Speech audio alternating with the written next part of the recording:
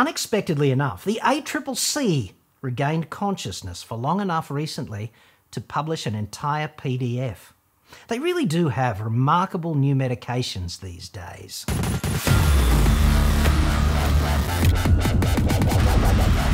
I'm John Cadogan from AutoExpert.com.au, new cars cheap, Australia only, website. Card. In this report, I'm going to show you how one government in Australia is more misleading and deceptive on environmental claims than any business could ever hope to be, even a car maker. And I'm going to use the ACCC's new document as a litmus test of sorts for the kind of bullshit conduct governments just take for granted these days. The ACCC's Oh My God, I'm Awake document is called Environmental and Sustainability Claims. 39 whole pages. That's a lot of potential butt wipes if you print it out on recycled vegan paper. Reuse and wokeness is such an essential part of getting to net zero, let's not forget. Repurposing this kind of fine work in pursuit of distal end digestive tract maintenance and hygiene really can help. Just saying. The wholesale adoption of EVs will not, because it cannot, happen fast enough to have sufficient impact on greenhouse. Cars are therefore a greenhouse sideshow. Most eco claims on EVs are fundamentally horseshit, because most companies and most governments are run by proper sociopaths who just care about how stuff makes you feel and how you react to it. How effective it actually is, well, that's kind of irrelevant. My advice Try to get four productive wipes per A4 sheet. Just don't be tempted to go double sided, if you catch my drift.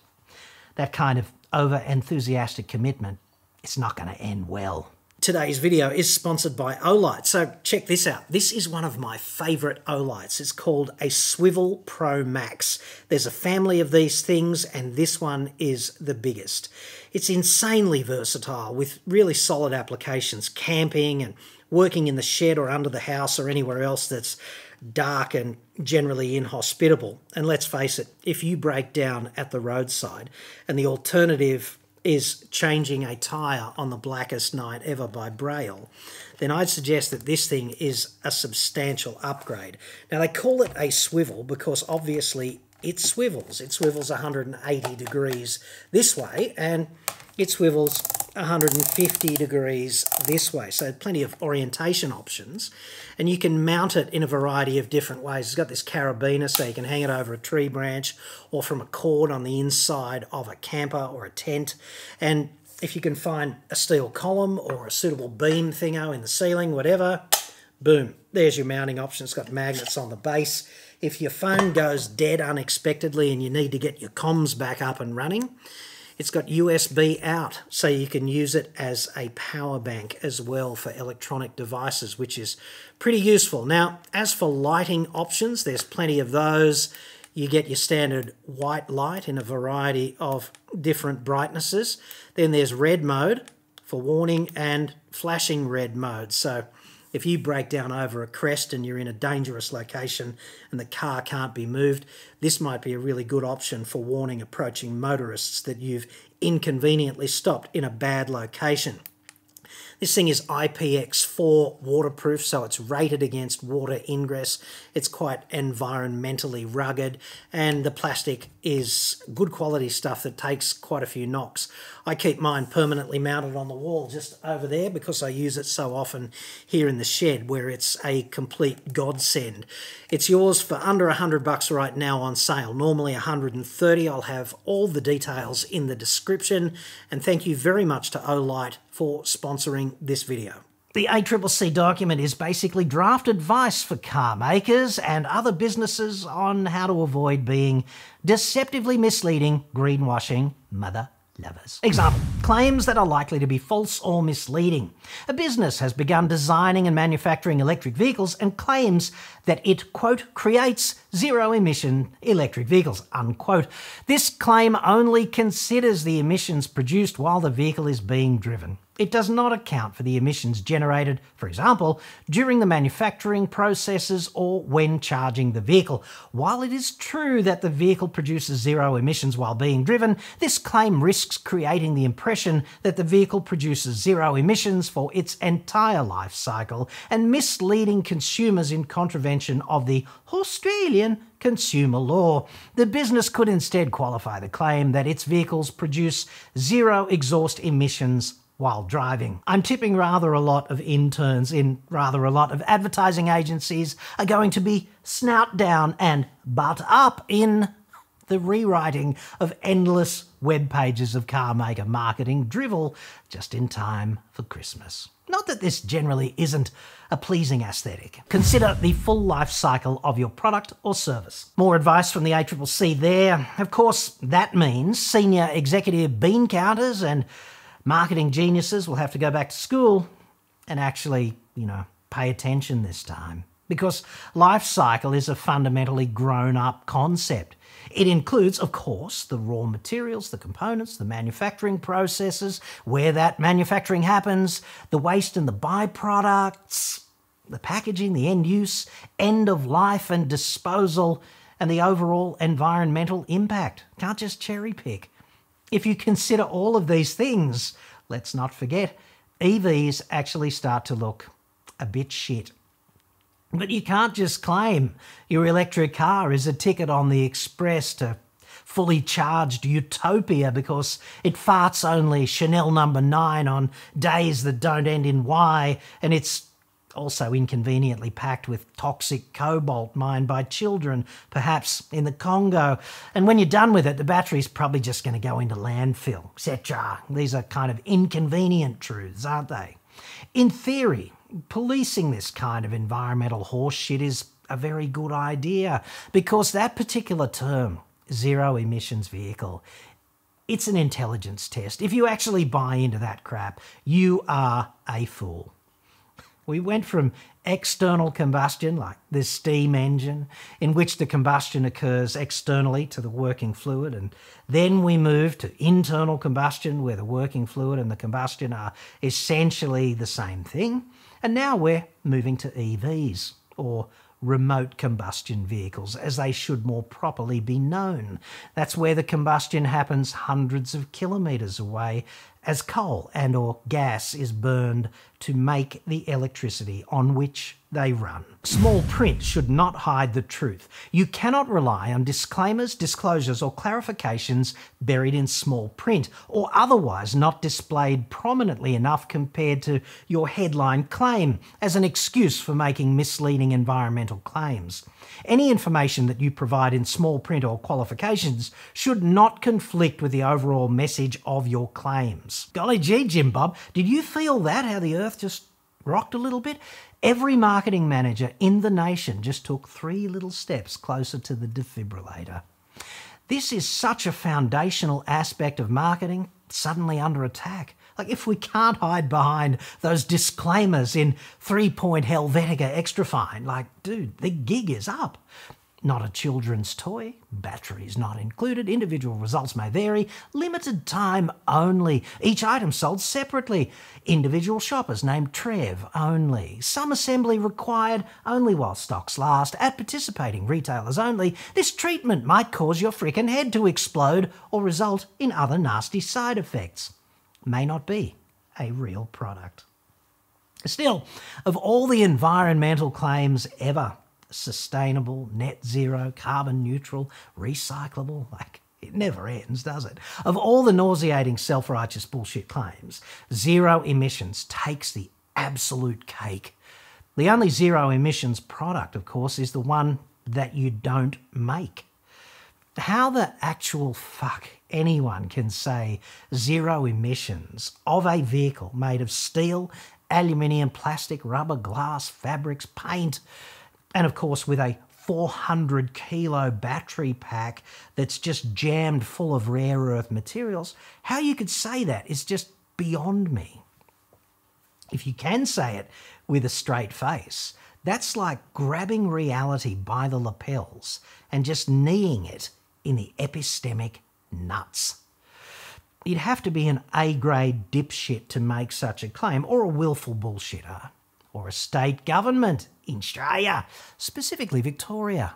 They are weapons grade environmental bullshitters in Victoria. Thank you so much, Victorian Government, for this next bit.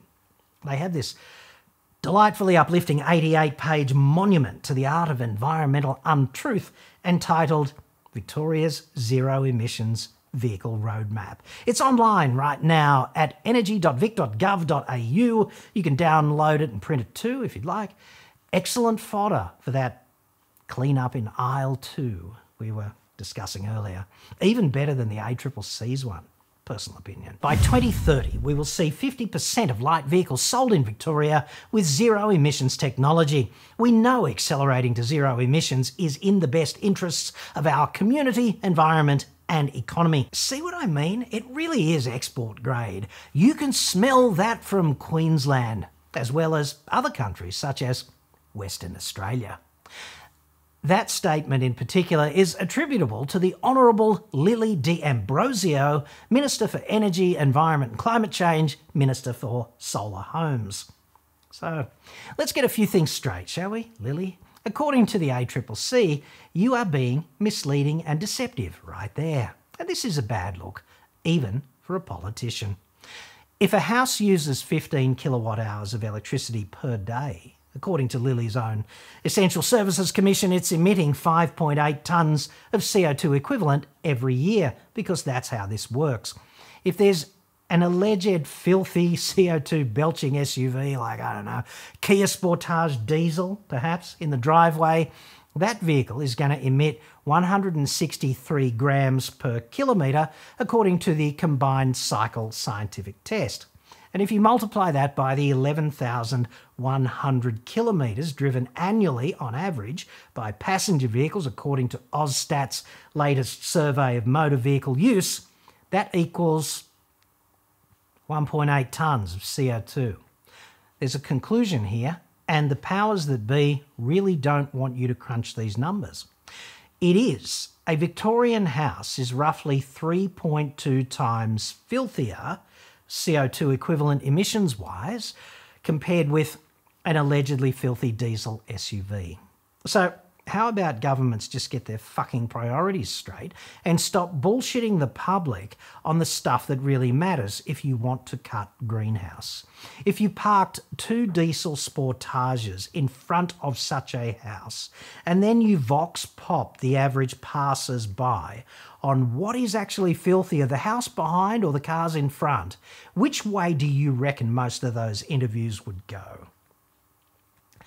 Not the way reality says, I'm sure, but in reality, cars are just a climate sideshow. We need to achieve net zero emissions by 2050, and we need to remove any and all barriers to net zero. That's multi hat minister Big Lily again, to which I would respectfully retort well, you're really not even going to get close unless you make the grid the number one priority. The Zero Emissions Vehicle Roadmap will get Victorians where they need to go. Please, enough. That's just being vexatious now. You dudes are missing the point. The grid is the problem. And if I were you, I would stop being misleading and deceptive. Like, just stop. Apart from the fact that this absurd document still spooks the EV purchase incentives that that government just canned, that misleading, deceptive term, zero emissions, in relation to vehicles, is bandied about roughly 1 billion times on those 88 pages. On this page right here, which is Big Lily's monument to deception, that hateful, deceptive term appears on 14 occasions. Just ballparking that for context, okay? 14 times 88 pages equals roughly 1,200 instances of unqualified, misleading, deceptive greenwashing, governmental horseshit.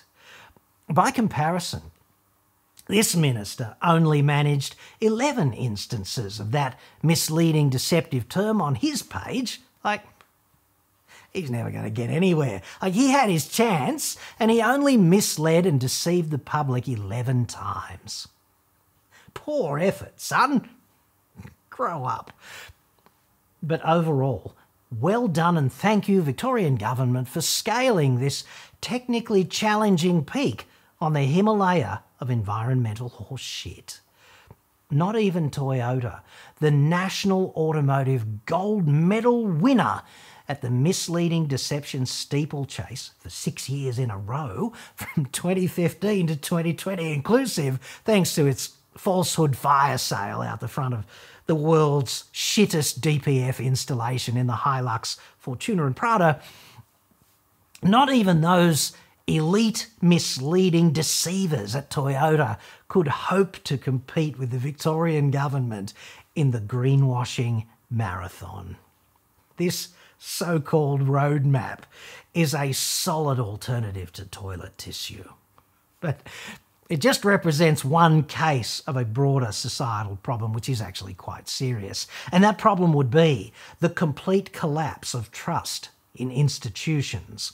And you can't blame the public for that. Like, how can you trust a government that would make these kinds of batshit claims? Like, you read that document, and even if you don't have any scientific training, you know something's a bit off. It's like when vegans look at you with those big eyes and they give you this spiel like, try this burger. It's made entirely of recycled plantation cardboard that was reused as toilet tissue. You really can't tell it's not meat. Like, okay, dude, I get it, and I'm pleased that you like it. Nice Tesla, also congratulations and all that, but I'm really not ever going to join your boy band. The ACCC has something of an uphill battle on its hands, clearly, because the biggest bullshitters in the climate space are not businesses at all. They're governments, as you have just seen.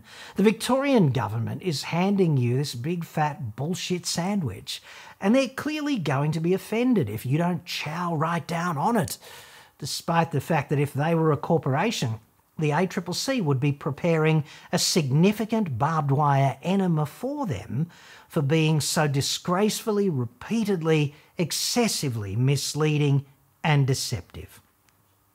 Zero emissions is one of the biggest, most widespread lies of the modern age. Actually achieving that would be horrendous. Millions of people would die. And those who remain after that apocalypse, well, they'd all be going back to the frickin' Stone Age because, you know, thermodynamics.